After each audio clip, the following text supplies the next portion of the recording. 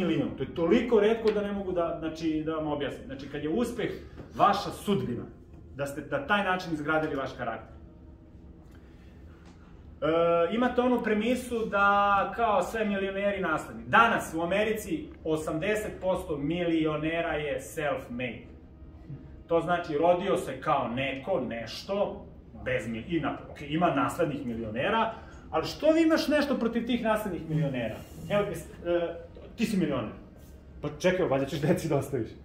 Mislim, svoju, možemo ostavi i moju. Ali šta je tu loše? Sad, loše je zato što ti nisi milioner, je li tako? A šta da jesi, onda možda im ostaviš. Pa šta vama smetaju ovi milioneri što su nasledili?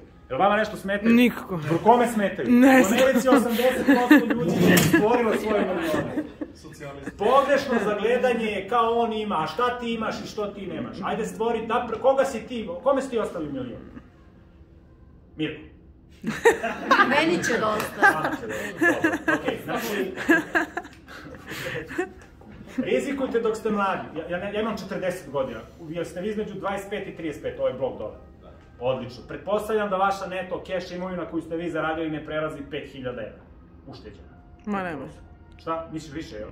Ne računam šta ste nasledili, nego ono što imate ušteđeno, 5, 10. Znači, sve uložite u biznis po neki 30. To su male pare za nekoga ko će da vodi biznis. Ako hoćete da se bavite biznisom, sad je prilika da bankrotirate, da, da te se testirate. Koliko deca imate? Nula. Super. Ja imam suprugu i troje dece koji zavise od mene. Bilo bi jako sramno da ja bankrotiram. Međutim, Nemanja Antić koji je studirao, on je spavao na klupi, hranio se po pijacama, baš ga briga, jele kod babe, kod strica, kod teče, razumete? To, to je vaša prilika dok ste mladi, to, to nemate više prilika. Znači, ulažite se, trudite se, rizikujte. Kasnije morate da imate ulaganje i procenjivanje, a sada možeš da rizikuješ da ideš A, B, C, D testing menje drugare, devojke, momke, poslove, poslodavce, jezike, vidite, sad možete da se izblamirate, sad sve manje košta. Sve, sve, prosto, bez promašaja vi ne možete da uspete. Uspeh nije 100-0, uspeh je paket. Paket je uspeh, jel me razumete? Ima i neuspeha i uspeha. Ne možeš da budeš samo uspešan. Ne postoji čovjek koji je dugoročno samo uspešan, uključujući i Novaka Đokovića. Povređuje se, ne puštaju ga, ne daju mu sponzori, ne može u Australiju, ne može zbog korone, izgubi od Nadala, plače on, plaču oni, a pričamo o Novaku Đokoviću. Zamislite šta mene čeka. Nekog običnog, na koliko mesta ja mogu da kaliram.